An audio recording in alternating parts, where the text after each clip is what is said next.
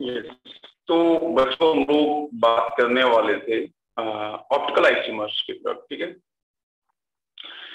तो optical isomers के अंदर कुछ बेसिक जो पार्ट था, कल मैंने डिस्कस किया था प्रीवियस लेक्चर के अंदर, ठीक है? आज हम लोग बच्चों थोड़ा सा जो कल का सेक्शन हुआ था, ठीक है? उसका रिविजन हम लोग करने वाले हैं, ठीक है? थोड़ा सा रिविजन में जो कल ठीक है, उसको तो कल जैसा हम लोगों ने बात की थी कि जैसे बच्चों जो लाइट थी, ठीक है this is actually plane polarise ठीक है, कल जो पढ़ाया था वहीं से मैं कंटिन्यू कर रहा हूँ। This is plane polarise light इस पीपीएल लाइट को जो हम लोग पास कराते हैं, जो हम लोग कराएँगे ठीक है? जो हम लोग पास कराने वाले हैं। ओके तो हम इसको पोल्ट्री मीटर ट्यूब से पास करेंगे। तो ये यहाँ पे आपको ट्यूब ट्यूब के अंदर क्या सॉल्यूशन है, ठीक है? यहाँ पे हम लोगों ने सॉल्यूशन को ठीक है? अब वो सॉल्यूशन हो सकता है तो मैं आपको बताया था कि ये जो जो जो आपका ट्यूब के अंदर हम लोग को जो सॉल्यूशन फिल किया है, या तो वो सॉल्यूशन बेटा ठीक है? या वो सॉल्यूशन ऑप्टिकली इनएक्टिव होगा है? इन दोनों में से कोई एक कंडीशन सेटिस्फाइड कर रहा होगा, मुझे नहीं पता कि वो ऑप्टिकली एक्टिव है कि ऑप्टिकली इनएक्टिव है। तो क्या करेंगे कि ये जो पीपल लाइट यहाँ पे एंटर करेंगे। करने के बाद, ठीक है रेफरेंस का, वो रेफरेंस ये ठीक है? अगर ये लाइट या तो डायरेक्शन में मूव करेगी रेफरेंस पॉइंट से या फिर ये जो लाइट आपको है अपने रेफरेंस से इस डायरेक्शन में मूव करेगी मतलब क्लॉकवाइज और एंटी क्लॉकवाइज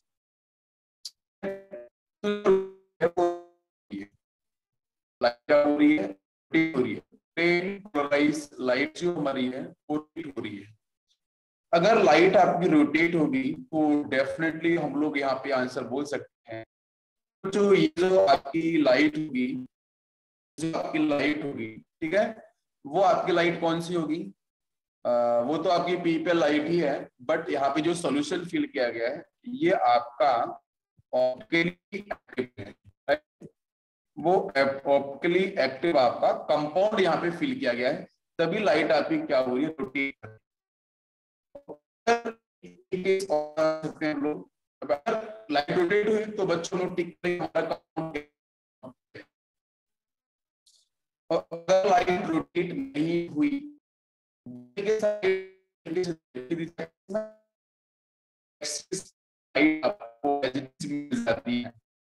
चेंज नहीं होता है तो उसको टिक करेंगे नेगेटिव कंपाउंड इस सॉल्यूशन के अंदर जो कंपाउंड फिट है, वो कंपाउंड आपका ऑप्टिकली ऑप्टिकली इनएक्टिव कंपाउंड होगा, ठीक है? ऑप्टिकली इनएक्टिव कंपाउंड क्या को आपको इतनी बात समझ में आ रही है? बेसिकली कल का रिवीजन था, ठीक है? जो हमने पढ़ा था उसमें मैं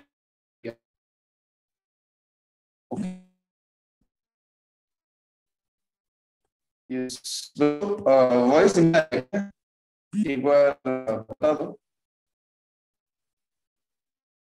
आवाज़ ब्रेक रही है क्या? बच्चों, आवाज़ आ रही है क्या अभी?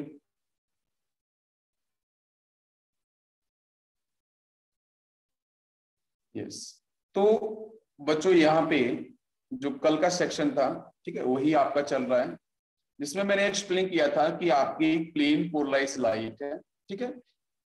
इस प्लेन पोलराइज लाइट को बच्चों, में एक पोलरीमीटर ट्यूब से पास करा रहा हूँ, जो पोलरीमीटर ट्यूब के अंदर मैंने सोल्यूशन को फिल किया है।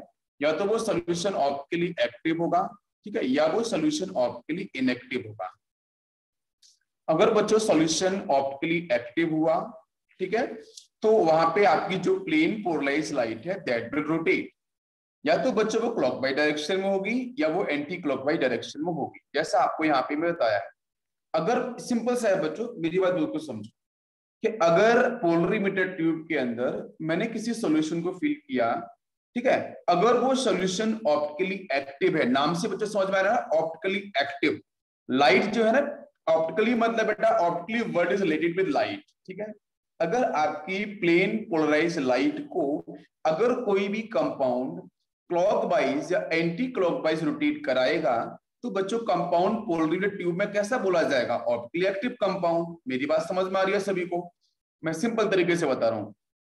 अगर बच्चों पोलरीमीटर ट्यूब के अंदर जो भी कंपाउंड फिल किया गया है, अगर वो कंपाउंड लाइट को रोटेट ही नहीं करा रहा है, जिस एक्सिस में लाइट जा रही थी, उसी एक्सिस में आपकी पास हो गई। तो मतलब बच्चों, आपका जो कंपाउंड पोलिमीटर ट्यूब में फिल किया गया है, वो कंपाउंड कैसा है? ऑप्टिकली इनएक्टिव है। क्या सभी बच्चों को मेरी बात समझ में आ रही है? क्या सभी बच्चों को इतनी बात समझ में आ रही है? क्या सभी बच्चों को इतनी बात समझ में आ रही है? सभी बच्चों को यहाँ तक समझ में आ गया? कल का ही रिवीजन है बच्चों। यस थैंक यू अब चलते हैं हम लोग नेक्स्ट पॉइंट को समझने के। यस थैंक यू ठीक है, बीच में टेक्नोलॉजी का इश्यू हो सकता है। बच्चों, अगर आवाज़ नहीं आती, आप बता दो मुझे, ठीक है? मैं करेक्ट करने की कोशिश करूँगा नेटवर्क को फिर से एक बार, ठीक है? चलो। कुछ बच्चे अभी ज्वाइन हो रहे हैं यार नाइन ट्वेल्व हो रहा है, ठीक है? और कल से लेक्चर एट थर्टी पे स्टार्ट करूँगा क्योंकि देखो पॉइंट ये है कि चीज़ें बहुत सारी हैं। मैं किसी भी चीज़ को स्किप नहीं करना चाहता हूँ, ठीक है? आपका जो रिज़ल्ट है वो डिपेंड करेगा सारी के सारी कॉन्सेप्ट ठीक है इसलिए टाइम को अधिक चाहिए। आपको उस हिसाब से मुझे भी टाइम थोड़ा सा मैं आप, आपके साथ करूँगा तो बाकी डिस्टर्ब ना करते हुए मैं 8:30 से स्टार्ट करूँगा 8:30 से 10 ठीक है? तो कल टाइम से ज्वाइन हो जाओ 9:13 तक अभी देखो सिद्धेश ओके आप ज्वाइन हो रहे हो यार ठीक है? अब रिविजन कहता आपको फिर से पढ़ाऊँगा यार, बाकी बच्चे तो पहले से जोड़े हैं ना, इसलिए प्लीज़ यार रिक्वेस्ट है मेरी सभी से कि टाइम से ज्वाइन हो जाओ। इतनी बात सभी को समझ में आ गई, कल का रिविजन हम लोग कर रहे थे। बताओ बच्चों। अब नेक्स्ट पॉइंट है कायरेलिटी ठीक है? What is the mean of chirality chirality आपका क्या होता है? कायरेलिटी जो वर्ड है ये बेटा रिलेट करता है कायरल कंपाउंड ठीक है? कायरल कंपाउंड जो हमारे कायरल कंपाउंड होते हैं, अब कायरल कंपाउंड्स क्या होते हैं, इस पे हम लोग करेंगे डिस्कशन अभी। ठीक है? Chirality is related with chiral compound ठीक है? और कायरलिटी वर्ड जो है बेटा, ये जो कायरल कंपाउंड्स हैं, ये डिफाइन करते हैं डाइसमेट्री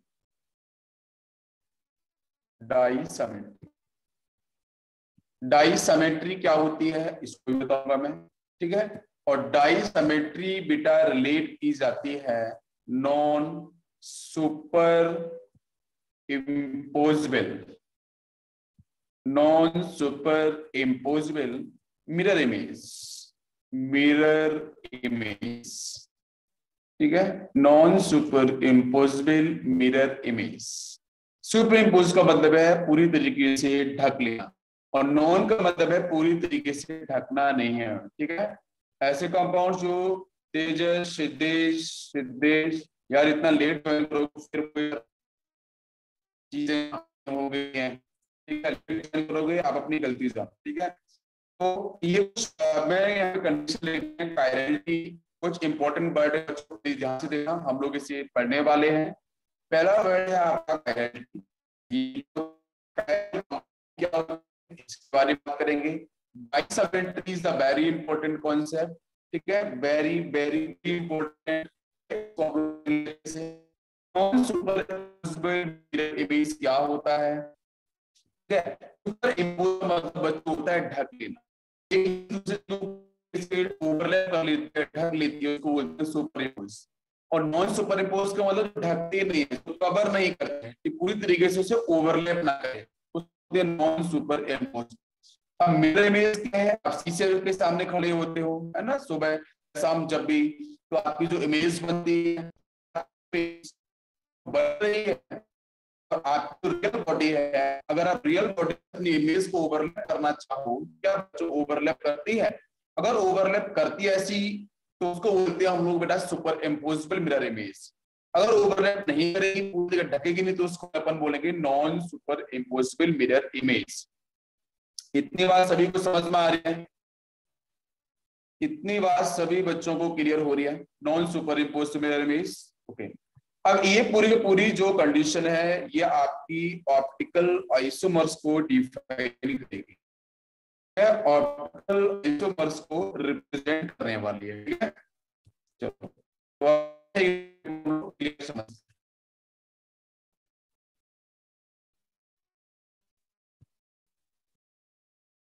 अभी वॉइस आ रही है बेटा। यहाँ तो यार वो मुझे सिंबल जो रहता है ना वॉइस का वैसा इस तरीके से, वो तो कंटिन्यू चल रहा है। तो इसलिए कुछ एरर नहीं दिखता मुझे यहाँ से। आवाज़ अगर गड़बड़ कर रही है तो बताओ। मिरर इमेज तो नॉन सुपर इमेज इसका करते हैं। ठीक है? तो नॉन सुपर ऑब्जेक्ट जैसे मैं सिंपल सा एग्जांपल दूँ, आपके जो आपका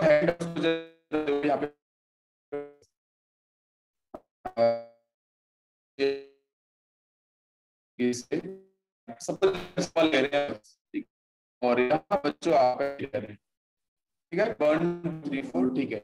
ये आपका मिरर है। इस मिरर से बनी तो क्या होगा इसका ये अगर राइट पार्ट है लेफ़्ट है तो लेफ़्ट राइट राइट वाला लेफ़्ट तो फिर अगर अगर हम अगर आपका थंब यहाँ है बाकी फिंगर्स तो बाकी फिंगर्स तो क्या होंगी? वो इस तरीके से यहाँ पे वन टू थ्री पूरे ऐसे आ जाएँगी। और जो थंब होगा, वो कुछ इस तरीके से आपको देखने को मिलेगा। बताओ जरा। बताओ बच्चों, अगर ये थंब राइट साइड में दिख रहा तो यहाँ पे लेफ़्ट साइड में दिखेगा, है ना? ये आपकी राइट साइड में होगा। क्या सभी को मेरी बात समझ में आ रही है? ये आपका थंब है। अब आप मुझे ये बताओ कि क्या आपका ये जो बना है ये तो आपका रियल रियल हैंड था। ध्यान दो बच्चों, ये तो आपका रियल फिगर सी ठीक है? रियल रियल ऑब्जेक्ट है। और ये आपका इमेज है, उसी ऑब्जेक्ट का। तो मुझे बताओ, क्या आपका जो हैंड है वो सुपर इम्पोजिबल होगा या नहीं होगा? बताओ बच्चों। आप खुद ही देख सकते हो। आप खुद से देखो, आप जैसे आपका ये हैंड है, इस तरीके से। तो इसकी जो इमेज है, ये जो थंब दिख रहा है, ये बच्चों इधर जाएगा। ये जो फिंगर्स दिख रही है, वो इस डायरेक्शन में आएँगे इमेज के अंदर। समझ में आ रहा है क्या? तो उस इमेज के ऊपर हम अपने हैंड को लेके जाओ। तो बच्चों सुपर इम्पोज करेगा? यस और नो सुपर इम्पोज का मतलब होता है ढक लेना। उसे कवर अप कर लेना। क्या मेरी बात समझ में आ रही है? जल्दी से बताओ। क्या ये उसको पूरी तरीके से कवर अप करेगा? यस और नो क्या उसको पूरी तरीके से कवर करेगा? जल्दी से बताओ बच्चों। वॉइस ब्रेक हो रही है फिर से।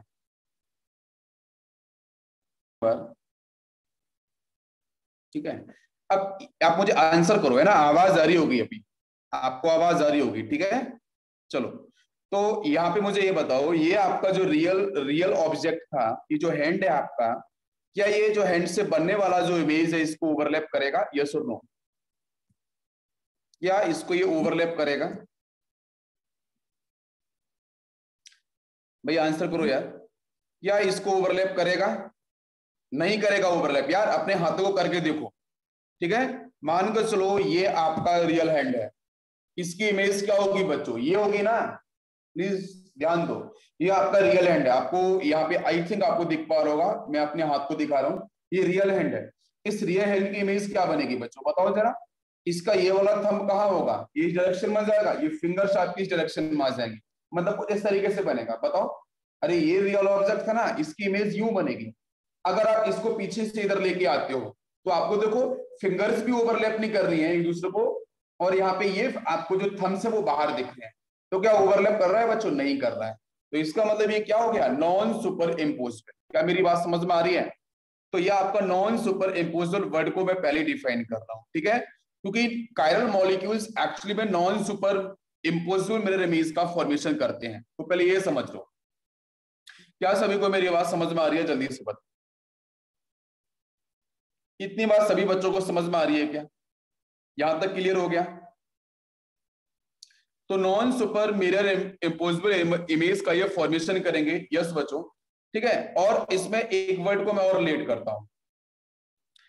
अगर मॉलिक्यूल अनसमेट्रिकल है और molecule non superimposable mirror image का फॉर्मेशन कर रहे हैं तो बच्चों वो आपके बोले जाएँगे कायरल मॉलिक्यूल क्या बोले जाएँगे? कायरल मॉलिक्यूल्स आपके बोले जाएँगे। क्या सभी को मेरी बात समझ में आ रही है? और तभी बच्चों, ये जो कायरल मॉलिक्यूल्स क्या होंगे, वो आपके ऑप्टिकली ऑप्टिकली एक्टिव कैसे बच्चों? ऑप्टिकली एक्टिव मॉलिक्यूल्स बोले जाएँगे। तो दो कंडीशन बहुत ज़रूरी है। पहली कंडीशन बच्चों कौन से जल्दी से बताओ। फ़र्स्ट कंडीशन है कि मॉलिक्यूल अनसमेटिकल होना चाहिए। इसके बारे में बताऊँगा अभी थोड़ी देर में। नॉन सुपर इम्पोजिबल वाला बट समझ में आया क्या पूरा का पूरा? नॉन सुपर इम्पोजिबल का एग्जैक्ट मीनिंग क्या है? इसको रिलेट कैसे करेंगे? इतनी बात सभी को समझ में आई यहाँ तक। तो कायल मॉलिक्यूल्स बच्चों क्लियर हो गया। मैं फिर से रिपीट करता हूँ एक बार। कायल मॉलिक्यूल्स पहली कंडीशन है कि अनसिमेट्रिकल कंपाउंड होना चाहिए। सेकेंड बच्चों, क्या है? कि वहाँ पे आपकी non super imposable mirror image आपको दिखनी चाहिए। जैसे हैंड का मैं एग्ज़ाम्पल दिया है। तो उस टाइप के मॉलिक्यूल बच्चों बोले जाएँगे chiral molecules chiral molecules are always optically active इतनी बात सभी को समझ में आ गई? जल्दी से बताओ। सभी बच्चों को यहाँ तक क्लियर है? चलो, कुछ और एग्जांपल लेते हैं समझने के जैसे मान के चलो, मैंने यहाँ पे लिया है एक ऑब्जेक्ट पी तो इस पी से बनने वाली जो इमेज है, ध्यान देना, इस पी ये जो पी आपको मैंने यहाँ पे बनाया है अल्फ़ाबेट का पी है, इसकी इमेज जरा बेटा बना के देखो, इसकी इमेज क्या बनेगी? इसकी इमेज आपकी ऐसे बनेगी ना, इस तरीके से। बताओ जरा। मैंने यहाँ पे एस ड्रॉ किया है। एस से जरा अपन इमेज बनाते हैं एक बार। तो ऐसे इमेज क्या बनेगी? ऐसे इमेज इसकी रिवर्स बनाते हैं। तो इमेज कुछ इस तरीके से डेवलप होगी। जैसे अगर मैं अपन एक वर्ड लेते हैं बी तो इस बी की इमेज क्या होगी? दिखते हैं। तो ये कुछ इस तरीके से आपकी डेवलप हो जाएगी। नेक्स्ट अपन लेते हैं सपोज़ ई ई की अपन अगर मिरर इमेज बनाते हैं तो क्या बनेगी? ये कुछ इस तरीके से बन जाएगी। तो बताओ आप मुझे, यहाँ पे जितने भी मैंने यहाँ एग्ज़ाम्पल लिए हुए हैं, ये एग्ज़ाम्पल मैं समझाने की कोशिश कर रहा हूँ आपके सुपर इम्पोजिबल कॉन्सेप्ट को। क्या आपके सुपर इम्पोज करेंगे? क्या पी इसकी इमेज देखो पी क्या है? पी आपका रियल ऑब्जेक्ट है, समझो। पी ये ये सारे के सारे क्या है? ये सभी के सभी रियल ऑब्जेक्ट रियल ऑब्जेक्ट और इन रियल ऑब्जेक्ट से ये बच्चों क्या बन रही है? बीच में मिरर लगा हुआ है, ये बन रही है इनकी इमेज ठीक है? रियल ऑब्जेक्ट की ये बच्चों है इमेजेस तो देखो इमेज के ऊपर, इस पी ये जो पी ये आपका इमेज बना है, इस इमेज के ऊपर इस रियल ऑब्जेक्ट को रख के देखो, क्या ओवरलैप करेगा? देखो, नहीं करने वाला है क्यों? क्योंकि देखो इमेज कुछ यूँ बन रही थी। और ये जो रियल ऑब्जेक्ट था, वो बेटा कुछ इस तरीके से था। बताओ ये सुपर इम्पोज किया है इसने? नहीं किया। अगर सुपर इम्पोजिबल नहीं है तो मैं वही बोल रहा हूँ रियल ऑब्जेक्ट को इमेज से कंपेयर करना है। वही रियल ऑब्जेक्ट उसकी जो इमेज बनेगी, उसी से ही कंपेयर करना है। तो उसको उठाओ और इमेज के ऊपर रखो। क्या ओवरलैप क्या ओवरलैप कर रहे हैं बच्चों? नहीं कर रहे हैं। तो अपन क्या बोलेंगे? This is optically active this compound is optically active बताओ जल्दी से। अगर ओवरलैप कर लेता तो फिर ऑप्टिकली इनएक्टिव होता। अगर ओवरलैप नहीं किया तो आपका ऑप्टिकली एक्टिव होगा। क्या सभी को बात समझ में आ रही है? अब इसको देखो, इन दोनों को कंपेयर करके आपको दिख रहा होगा, बिल्कुल आपको दिख रहा होगा कि सर यहाँ पे जो इमेज बनी है ना, वो यूँ बनी। और इसका जो रियल ऑब्जेक्ट ना, वो ये वाला है। रियल ऑब्जेक्ट बेटा कैसा है? वो कुछ आप देखो तो इसी के ऊपर आप यहाँ पे अगर बनाओगे ना तो वो कुछ इस तरीके से आएगा। बच्चों, यहाँ से आएगा, कुछ इस तरीके से, कुछ ऐसे जाएगा। ठीक है? थोड़ा सा यहाँ पे गड़बड़ हो गया है। मतलब अपन इस तरीके से बना लेते हैं। कुछ यूँ। बात समझ में आ रही क्या? तो क्या इसको ओवरलैप कर रहा है? नहीं कर रहा है। तो ये भी क्या होगा? ऑप्टिकली एक्टिव कंपाउंड होगा। तो मतलब क्या है? जो जो रियल ऑब्जेक्ट से बनने वाली जो इमेज है, उसी की इमेज क्या वो उस इमेज को पूरी तरीके से ओवरलैप कर रहा है? क्या उसे ढक रहा है? क्या कवर अप कर रहा है? अगर कर रहा है तो बच्चों क्या होगा? तो आपका सुपर इम्पोजिबल कंपाउंड आपको ढक नहीं तो हमारा कंपाउंड कैसा नॉन इम्पोजिबल कंपाउंड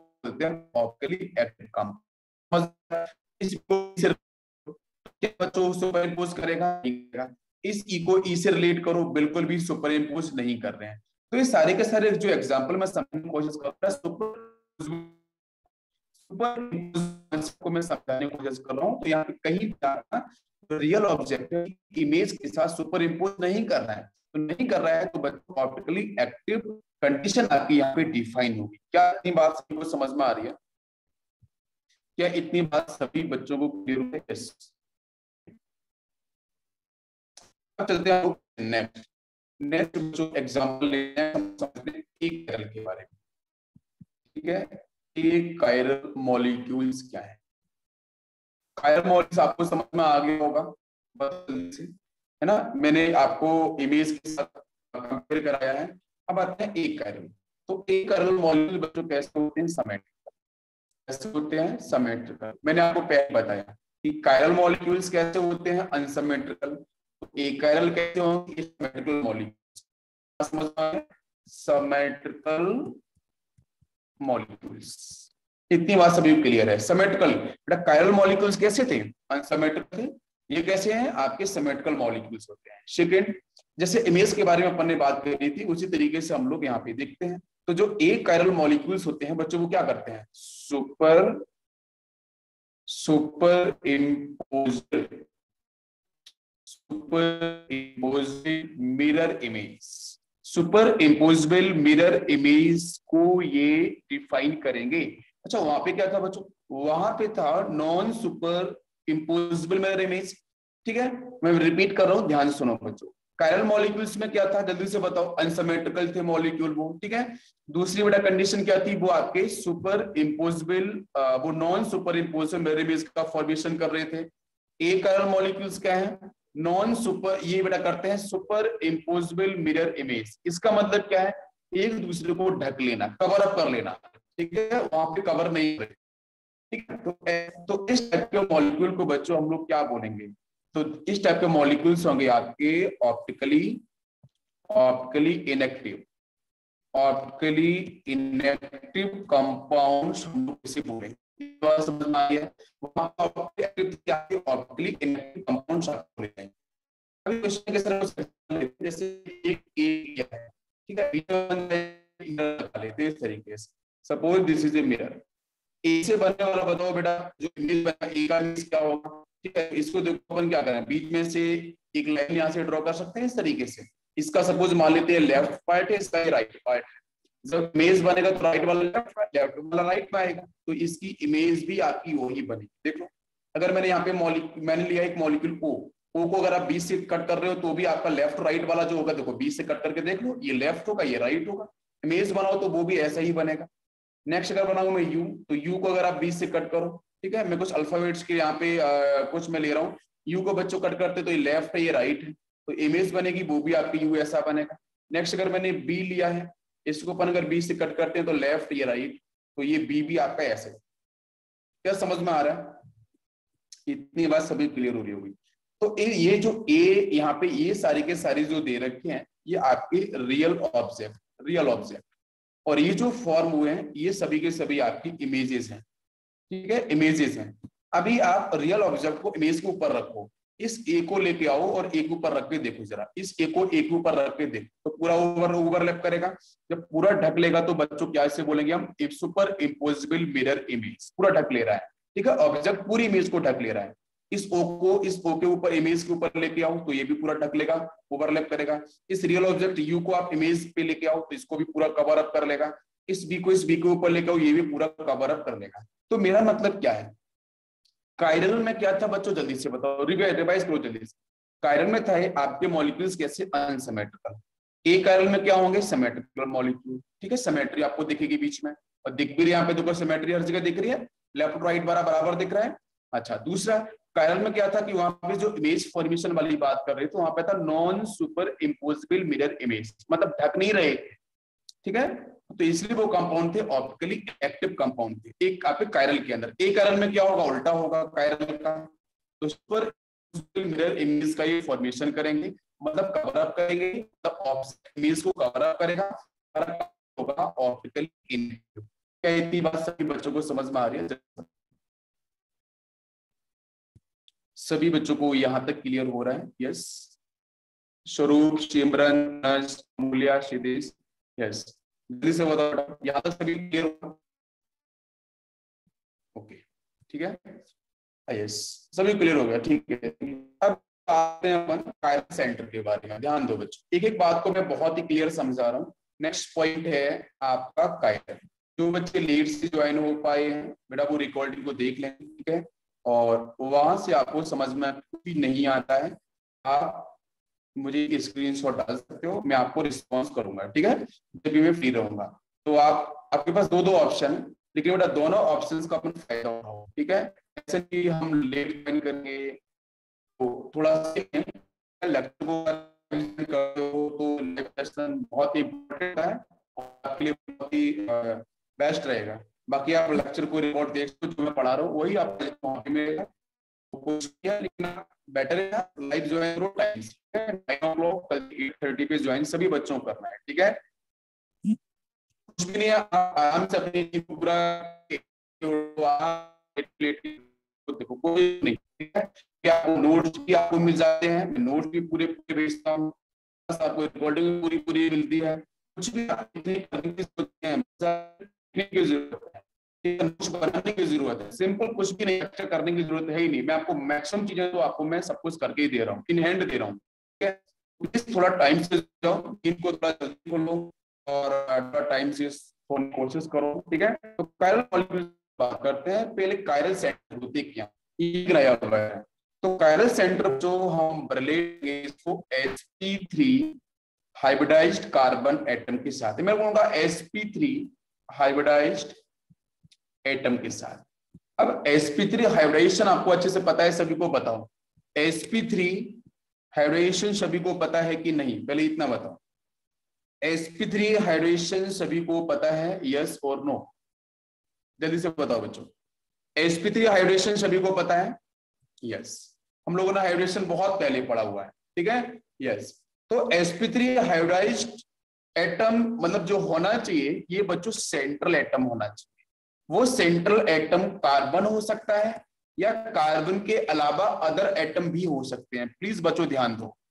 जनरली क्या होती है ऑर्गेनिक केमिस्ट्री में हम कार्बन को ही सेंट्रल एटम लेते हैं, लेकिन अदर एटम्स भी हो सकते हैं बिकॉज़ एडवांस में क्वेश्चन यहाँ से रिलेट किया जाते हैं तेजस ठीक है? तो यहाँ पे कार्बन के अलावा अदर आपके सेंट्रल एटम भी हो सकते हैं। क्योंकि लेक्चर एक घंटे में नहीं हो पा रहा है प्लीज़ बच्चों। ये एग्ज़ाम जेई मेंस का है बोर्ड नहीं है। ये मैं क्लियर कर देता हूँ। ठीक है? क्योंकि तो सिलेबस मुझे भी अच्छा नहीं लग रहा है। सिलेबस को मैं जिस तरीके से ले जाना चाहिए फिनिश करना चाहिए, उस हिसाब से नहीं हो पा रहा क्योंकि टाइम नहीं मिल पा रहा है। क्योंकि बीच में नेटवर्क इशू होती है, आप जानते हो बार बार कभी वॉइस कट होती है, ठीक है? तो वो सर इसलिए टाइम थोड़ा बढ़ना ही चाहिए, ठीक है? तो जो सेंट्रल एटम है, वो आपका कार्बन हो सकता है कार्बन के अलावा अदर एटम्स भी आपके हो सकते हैं। बट कीप इन माइंड कि चाहे अदर एटम हो, चाहे कार्बन हो, दोनों के दोनों आपके sp3 हाइब्रिडाइज्ड होने चाहिए। बच्चों, कैसे होने चाहिए? Sp3 हाइब्रिडाइज्ड होने चाहिए वेरी वेरी इंपॉर्टेंट कंडीशन क्या सभी को मेरी बात समझ में आ रही है? और इस sp3 हाइब्रिडाइज्ड एटम के पास क्या बच्चों होना चाहिए? Four different four different group या बच्चों एटम फोर डिफरेंट ग्रुप या एटम आपके कनेक्टेड होने चाहिए। मतलब इस three carbon atom four different group का होना बहुत ज़रूरी है। अगर ऐसा होगा तो बच्चों, हम को क्या बोलेंगे बच्चों सेंटर क्या बोलेंगे कायरल सेंटर बोलेंगे। यार, बहुत टाइम से आपका देखो आंसर नहीं आ रहा है, ठीक है?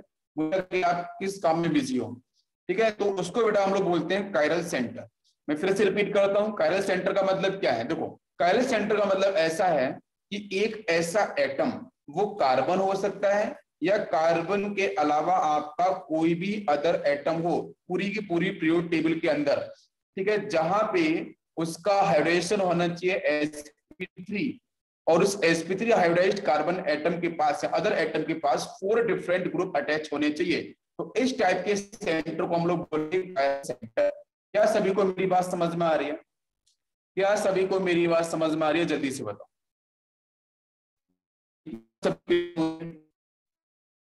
कि अगर कायरल सेंटर हो गया है तो क्या कायरल सेंटर ऑप्टिकली एक्टिवनेस को या ऑप्टिकली एक्टिव नेचर को क्या रिप्रेजेंट करेगा? ऑलवेज नहीं करेगा। ये बात ध्यान रखो। बहुत बार ये होता है कि अगर कायल सेंटर दिख गया तो हम बोल देते हैं कि मॉलिक्यूल्स इज़ ऑप्टिकली एक्टिव लेकिन बच्चों, हमेशा ऑलवेज हमें यहाँ पे लिखूँगा ऑलवेज ठीक है? ऑलवेज नहीं होगा। मतलब अगर कायरल सेंटर देख गया कायरल सेंटर क्या बताऊँ, सभी को मैंने अभी बताया। तो कायरल सेंटर मतलब sp3 हाइब्रिडाइज्ड एटम के पास अगर फोर डिफरेंट ग्रुप हैं तो this is not necessary condition for the optical activity optical activity के लिए नेसेसरी कंडीशन नहीं है। मतलब आपका कार्य सेंटर अगर हो गया तो कंपाउंड आपका ऑप्टिकली एक्टिव भी हो सकता है कंपाउंड आपका ऑप्टिकली इनएक्टिव भी हो सकता है। मेरी बात समझ में आ रही है कि दोनों कंडीशन आपकी बहुत ज़रूरी है। तो कायरल सेंटर होने का मतलब ऑप्टिकली एक्टिव हमेशा नहीं होता है। आपका ऑप्टिकली एक्टिव भी हो सकता है, आपका ऑप्टिकली इनएक्टिव भी हो सकता है। दोनों में से कुछ भी हो सकता है। मेरी बात समझ सभी को? कितनी मतलब ओके अब यहाँ से हम लोग स्टार्ट करने वाले हैं मॉलिक्यूल्स के एग्ज़ाम ध्यान दो। तो सबसे पहले बच्चों मॉलिक्यूल लिया है मैंने, ध्यान देना। आपको बताना है कायरल है कि नहीं है। क्लोरीन ब्रोमीन, जल्दी से आंसर करना है सभी बच्चों को। आयोडीन एंड नेक्सिस फ्लोरीन।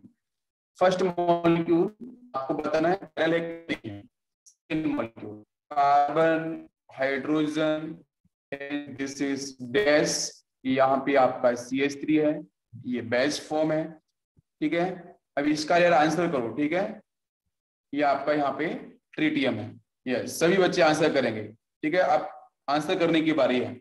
फ़र्स्ट सेकेंड हो गया थर्ड पे आते हैं थर्ड मॉलिक्यूल मैंने यू बना दिया। यहाँ बच्चों दे दिया मैंने hydroxy group this is methyl and now this is N H two group और यहाँ लगाया मैंने इथाइल ईटीएच का मतलब बच्चों इथाइल नेक्स्ट फोर्थ कंपाउंड पे आते हैं। मैं कंपाउंड देता जा रहा हूँ आंसर बताते चलो। जिस भी क्वेश्चन में डाउट हो बेटा, उसको आप लिख दो मैसेज बॉक्स में, वहाँ पे मैं देख लूँगा, ठीक है? कमेंट बॉक्स में, और मैं आपको रिप्लाई करूँगा। ये फोर कंपाउंड दिए हैं। कंपाउंड लेते हैं यहीं पे। जल्दी जल्दी आंसर करेंगे सभी लोग। कार्बन डबल बॉन्ड कर इसके साथ ब्रोमीन यहाँ पे है क्लोरीन यहाँ है। इधर आपका सी एच थ्री है, यहाँ पे हाइड्रोजन है। ठीक है? फाइव मॉलिक्यूल मैंने दे दिए जल्दी से आंसर देखते हैं मैं यहाँ पे कौन कौन सा कायल कौन सा एक कर ठीक है? चलो, पहले मॉलिक्यूल्स पे आते हैं। तो पहली कंडीशन बच्चों क्या है? कि central atom is the carbon दिख रहा है। तो सर ये sp3 को बिकॉज़ ब्रोमीन एक सिग्मा दो सिग्मा तीन सिग्मा चार सिग्मा तो sp3 हाइब्रिडाइज्ड हो गया, सर। ये तो हम लोगों ने बहुत पहले पढ़ा है, ठीक है स्टार्टिंग के लेक्चर में। Sp3 हाइब्रिडाइज्ड फोर सिग्मा है ना? एक सिग्मा दो सिग्मा तीन सिग्मा चार सिग्मा ओके चारों ग्रुप डिफरेंट है, मैंने अभी पढ़ाया था। क्या चारों डिफरेंट है बच्चों? Fluorine totally different from iodine bromine सबके सारे डिफरेंट है। अगर डिफरेंट है तो डेफिनेटली बच्चों यहाँ पे होगा one chiral center one chiral center आपको मिल गया अब आते हैं सेकेंड पे। क्या सेकेंड में देखो बच्चों एसपी सारे सिग्मा बॉन्ड है। ये सिग्मा है, ये सिग्मा है, ये सिग्मा है, ये सिग्मा है। ये एसपी थ्री हाइब्रिडाइज होगा, बिल्कुल सही। सेकंड कंडीशन क्या है कि सारे के सारे डिफरेंट होने चाहिए। तो क्या बच्चों डिफरेंट है? ये देखो ट्रीटियम है आइसोटॉपिक फॉर्म है ना हाइड्रोजन की। ड्यूटेरियम है, ये सी है, या हाइड्रोजन है। प्रोटियम है वो, है ना? उसको अपन प्रोटियम भी बोल सकते हैं। तो ऑल आर डिफरेंट लेकिन इसमें सी बच्चों कहाँ पे है? डेस्क पे है। तो डेस्क का मतलब क्या होता है? प्लेन के नीचे। प्लेन के नीचे होगा, ठीक है? सी एस थ्री कहाँ होगा? प्लेन के नीचे। आप उसको ऐसे समझो कि जैसे मान के चलो मैंने यहाँ पे बॉक्स लिया है, ठीक है? ये बॉक्स है, ठीक है? ये, इस बॉक्स के ऊपर क्या दिख रहा है बेटा देखो? इस बॉक्स मतलब ये प्लेन है। इस प्लेन पे एक तरफ़ हाइड्रोजन होगा, एक तरफ़ ट्रीटियम होगा टी कैपिटल टी जो लिखा है। तो डैश बनाया डैश पे आपका यहाँ पे देखो ये सी एस थ्री है। तो सी एस थ्री कहा होगा? प्लेन के नीचे। आपको देखना ना, ये प्लेन के नीचे होगा सी एस थ्री प्लेन के ऊपर क्या होगा बच्चों? आपका ड्यूटेरियम है ना? डैश का मतलब होता है डाउन याद रखो डैश का मतलब डाउन और बेस का मतलब होता है अप ठीक है? प्लेन के ऊपर। तो दिस इज़ ऑल्सो इसके पास ये जो कार्बन है, वो आपका बन कायरल सेंटर होगा। समझ में आ रहा है? नेक्स्ट मॉलिक्यूल थर्ड मॉलिक्यूल पे आते हैं। जल्दी से आंसर करो। जो फोर चीज़ों के बीच में कार्बन है, ठीक है? ये बीच में कार्बन है। ये आपका एक सिग्मा दो सिग्मा तीन सिग्मा चार sigma yes definitely it is sp3 क्या चारों का चारों ग्रुप डिफरेंट है? यस यहाँ पे हाइड्रोक्सी है, यहाँ पे मिथाइल है, यहाँ पे अमाइन वाला पार्ट यहाँ पे इथाइल है। ऑल आर डिफरेंट तो आंसर विल बी बेटा जल्दी से टिक करो। क्या आंसर होना चाहिए यहाँ पे? जल्दी से बताओ, क्या आंसर होना चाहिए? डेफिनेटली ये भी आपका यहाँ पे वन कायरल सेंटर आपको मिलेगा। फोर्थ मॉलिक्यूल्स पे आते हैं। बीच में देखो कार्बन दिख रहा है। ठीक है? यहाँ पे फोर सिग्मा एक सिग्मा दो सिग्मा तीन सिग्मा चार sigma definitely it is sp3 hybridized इस पे चार डिफरेंट ग्रुप हैं। देखो बच्चों, ध्यान दो। क्या चारों डिफरेंट है, नहीं सर यहाँ पे हाइड्रोक्सी मैच कर गया है। अगर तो हाइड्रोक्सी मैच कर गया है तो सर यहाँ पे जो नो डाउट ये बीच का कार्बन sp3 तो है बट चारों ग्रुप डिफरेंट नहीं है। क्योंकि हाइड्रोक्सी सेम आ गया ना तो सर यहाँ पे हाइड्रोक्सी सेम आ गया, इसलिए यहाँ पे होगा zero chiral center zero chiral center आपको मिलेगा। मेरी बात समझ में आ रही है? सभी क्लियर है? यस नेक्स्ट मॉलिक्यूल की बात करते हैं, मैंने यहाँ पे एल्कीन दिया है। जल्दी से आंसर बताओ। जल्दी से आंसर बताओ बच्चों, क्या ये कायरल सेंटर होगा? जल्दी से बताओ आंसर। अरे बेटा, सीधी सी बात है यहाँ पे, बीच में सारी के सारी जो कार्बन है, नहीं होगा नहीं होगा ये। Because because this one is sp2 hybridized please बच्चों, ध्यान से देखो this is sp2 hybridized carbon and this is also sp2 hybridized carbon both are sp2 hybridized carbon then how we will call it is chiral chiral center? Yes, definitely sunmesh sp2 है।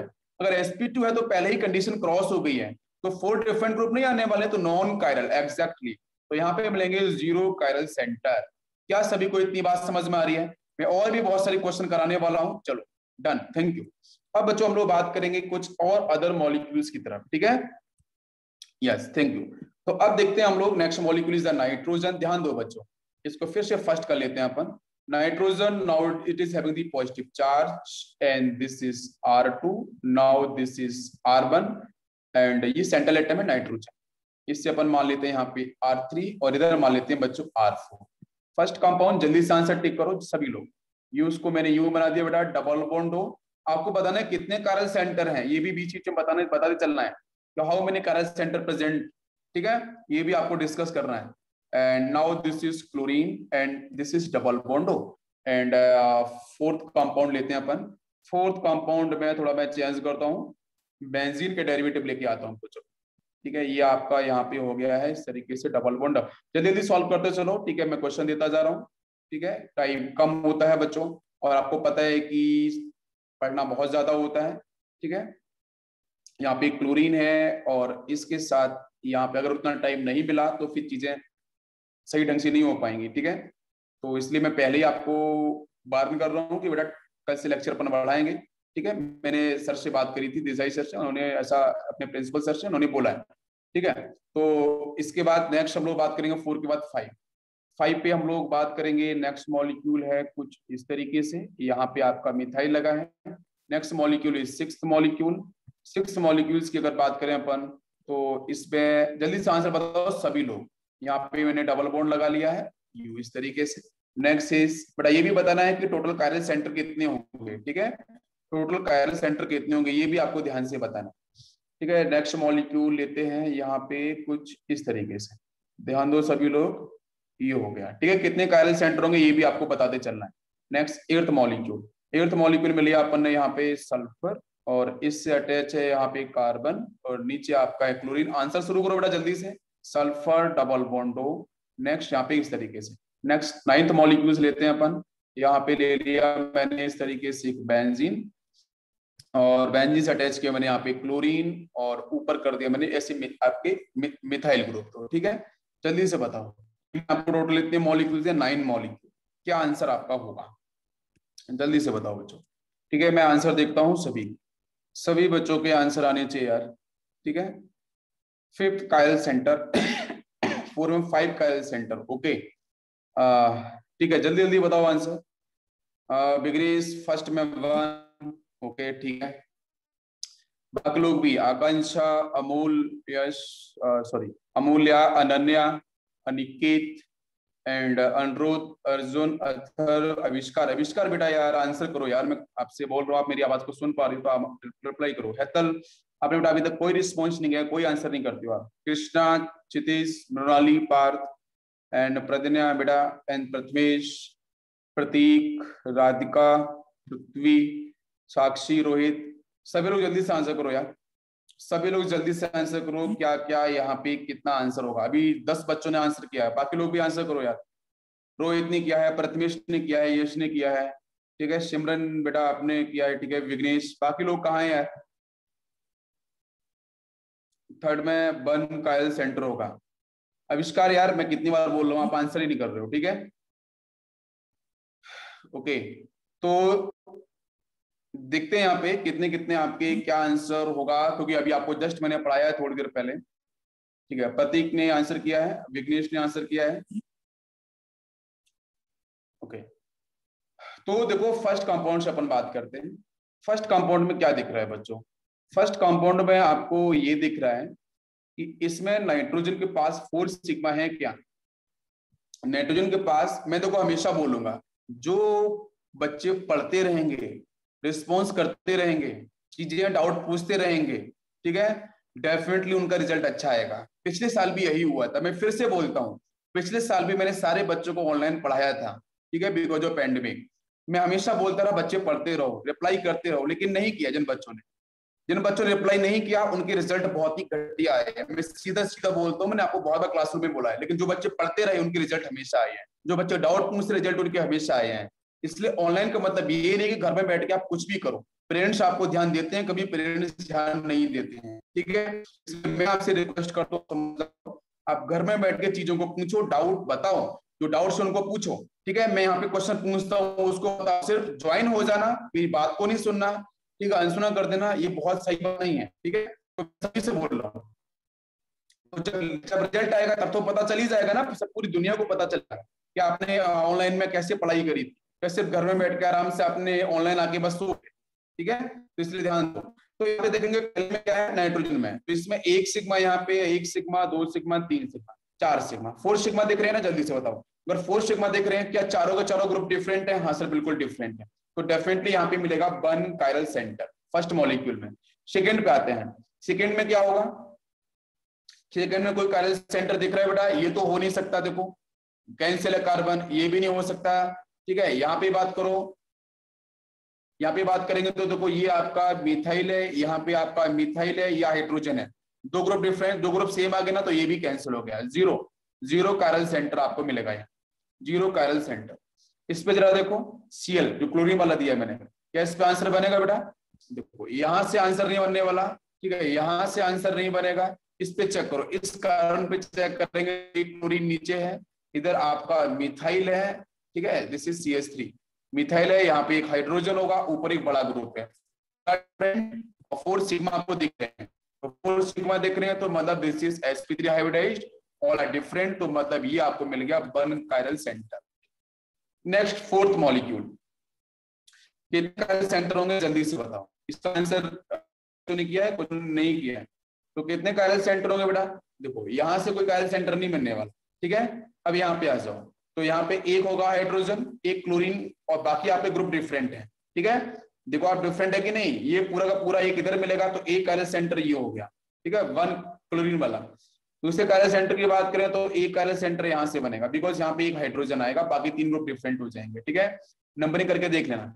एक chiral centre ये होगा। One two three ठीक है? यहाँ पे एक hydrogen एक मिथाइल एक कायरल सेंटर ये। ठीक है? बट ये कायरल सेंटर नहीं होगा बिकॉज़ इसमें दो हाइड्रोजन आ जाएँगे। ठीक है? और यहाँ पे भी एक कायरल सेंटर होगा जहाँ स्टार कर रहा हूँ। और कहाँ पे होगा? एक कायरल सेंटर यहाँ पे होगा, यहाँ पे हाइड्रोजन हो जाएगा। यहाँ कायरल सेंटर नहीं होगा। और नीचे की तरफ़ भी यहाँ पे एक कार्य सेंटर ब्रोमीन की तरफ़ भी होगा। तो वाउ बेटा कितना आंसर यहाँ पे हो गया? वन ये हो गया one two three four five six seven तो सेवन इज़ आंसर सेवन कितना का आंसर आया था सेवन कार्य सेंटर नेक्स्ट मॉलिक्यूल की बात करते हैं। यहाँ बताओ कितने कार्य सेंटर सब आपकी आवाज़ ठीक से नहीं आ रही है। अभी आवाज़ ठीक से आ रही है? स्वरूप यस अभी आवाज़ ठीक से आ रही है क्या?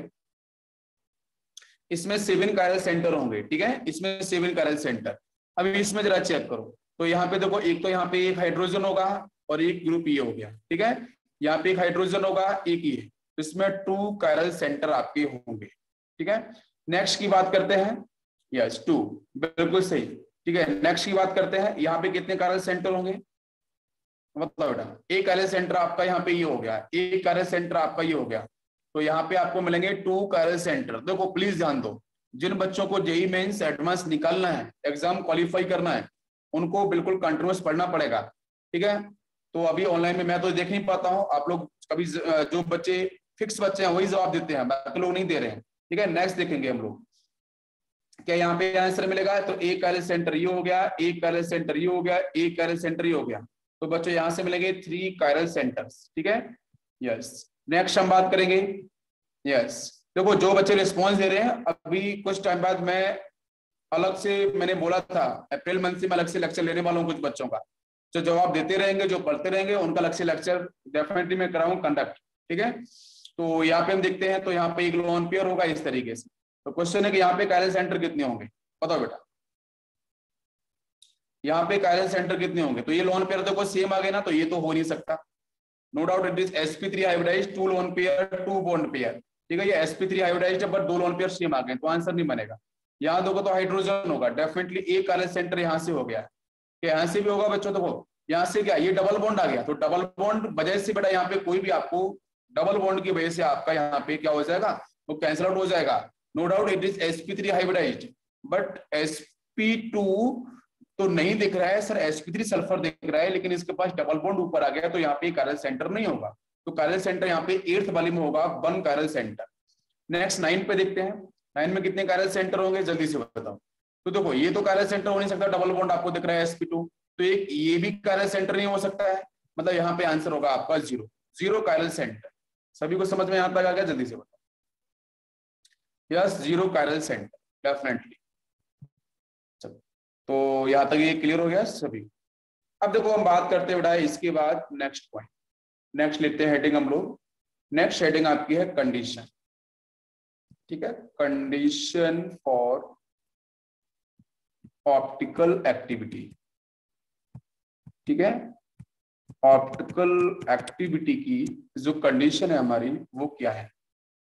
कंडीशन फॉर ऑप्टिकल एक्टिविटी ठीक है? अभी फाइव मिनट्स हैं। ठीक है कंडीशंस फॉर ऑप्टिकल एक्टिविटी पे हम लोग बात कर रहे हैं। तो कंडीशन फॉर ऑप्टिकल एक्टिविटी में पहली कंडीशन के बारे में बात करते हैं तो हम लिख सकते हैं। ठीक है, कि कोई एक मॉलिक्यूल मैं लिखूँगा a molecule a molecule is ठीक है a molecule is optically a molecule is optically active कोई भी मॉलिक्यूल जो होगा, वो ऑप्टिकली एक्टिव कब होगा? वो एक्टिव तब होगा जब उसके पास, अभी हम लोगों ने पढ़ा है, क्या होना चाहिए बेटा? सबसे पहली कंडीशन कि वहाँ पे कायरलिटी दिखनी चाहिए, ठीक है? कायरल सेंटर होना बहुत ज़रूरी है। बताओ जल्दी से, एक मॉलिक्यूल कोई भी ऑप्टिकली एक्टिव क्या, कब होगा बेटा? ऑप्टिकली एक्टिव तब होगा जब वहाँ पे कायरल सेंटर आपको दिखना चाहिए। पहली कंडीशन समझ में आ रही है? कायरल सेंटर दिखना चाहिए। कायरल सेंटर का मतलब ही बच्चों क्या है? अनसमेट्रिकल अनसमेट्रिकल ठीक है? अनसमेट्रिकल नेचर आपको दिखना चाहिए मेरी बात समझ में आ रही है? जल्दी से बताओ। या फिर अपन इसको एक कंडीशन में और ले सकते हैं। मैं इसको और करके भी ले सकता हूँ कि वहाँ पे non superimposable non superimposable mirror image ठीक है? इसके बारे में भी हम लोगों ने पढ़ा था। Non super imposable mirror image मतलब ढक नहीं रही जो ऑब्जेक्ट है वो इमेज को पूरी तरीके से ओवरलैप नहीं करे तो ये दो कंडीशन बहुत ज़रूरी है। मेरी बात समझ में आ रही है? कंडीशन फॉर ऑप्टिकल एक्टिविटी की हम लोग बात कर रहे हैं। कोई भी मॉलिक्यूल ऑप्टिकली एक्टिव कब होगा? जब उसके पास कायरल सेंटर हो। बेटा कायरल सेंटर को भी रिलेट किया, मैंने बहुत सारे क्वेश्चन किए हैं। आपका सेंट्रल एटम हो या तो कार्बन हो सकता है, या फिर आपका अदर एटम हो सकता है। मैंने नाइट्रोजन के भी एग्जांपल लिए थे। मेरी बात समझ में आ रही है? तो sp3 होना बहुत ज़रूरी है, और उसके साथ आपका जो सेंट्रल है आपका कार्बन हो सकता है, फिर अदर एटम भी हो सकता है। लेकिन उस sp3 एंड सेंटर के पास आपके फोर डिफरेंट ग्रुप होने चाहिए। फोर डिफरेंट ग्रुप आपके होने चाहिए। अगर ऐसा होगा तो हम उस मॉलिक्यूल को बच्चों क्या बोलेंगे? ऑप्टिकली एक्टिव क्या मेरी बात समझ में आ रही है? क्या इतनी बात सभी को समझ में आ रही है? जल्दी से इतनी बात सभी क्लियर है? यस अब देखते हैं, देखो हम लोग यहाँ पे। ध्यान दो बच्चों। यहाँ पे देखो एक्सप्लेन किया गया है, एक कायरल ऑब्जेक्ट इज़ वन एक chiral object is one that can not be superimpose on its mirror image अब कोई लाइन समझ में आ जाएगी अपने आप। बताओ बेटा। हम कायरल ऑब्जेक्ट किसको बोलेंगे? कायरल ऑब्जेक्ट हम उसको बोलेंगे जहाँ पे सुपर इम्पोजिबल जो हम बात कर रहे हैं। कायरल ऑब्जेक्ट जो है ना बच्चों, वो कैसा होगा? वो आपका ऑप्टिकली एक्टिव होगा। जल्दी से बताओ। कायरल ऑब्जेक्ट जो होगा बेटा वो कैसा होगा? वो ऑप्टिकली एक्टिव होगा। क्या आपको मेरी बात समझ में आ रही है सभी को? वो ऑप्टिकली एक्टिव होगा। ऑप्टिकली एक्टिव होगा तो उसकी मिरर इमेज बनेगी। उस ऑब्जेक्ट की मिरर इमेज बनेगी, वो सुपर इम्पोज करेगी ही नहीं। समझ आ रहा है? Second point a chiral object is one that is superimpose it's आपके ऑब्जेक्ट होंगे, या कंपाउंड होंगे वो बच्चों कैसे होंगे बताओ? मैंने बताया था पढ़ाया बच्चों मैंने बताया था कि उनसे जो बनने वाली जो मिरर इमेज है, वो मिरर इमेज वो पूरी तरीके से क्या करेगा बच्चों? ओवरलैप कर लेगा कर लेगा सुपर इम्पोज कर लेगा क्या आपको मेरी बात समझ में आ रही है। तो ऐसे कंपाउंड को बच्चों बोलेंगे हम एक कायरल तो रिज़ल्ट ये समझ में आया कायरल मॉलिक्यूल्स होगा। अगर कायरल कायरल सेंटर देखने को मिलेगा तो डेफिनेटली वो कंपाउंड बच्चों ऑप्टिकली एक्टिव होगा। क्या सभी को मेरी बात समझ में आ रही है? जल्दी से बताओ। अब देखो, यहाँ पे मैंने एक एग्ज़ाम्पल लिया इस एग्ज़ाम्पल को जरा समझो ध्यान से। एग्ज़ाम्पल मैंने यहाँ पे लिया है। इस एग्ज़ाम्पल को देखो देखो बच्चों ध्यान से। ये एग्ज़ाम्पल आपका यहाँ पे सामने है। तो ये तो ये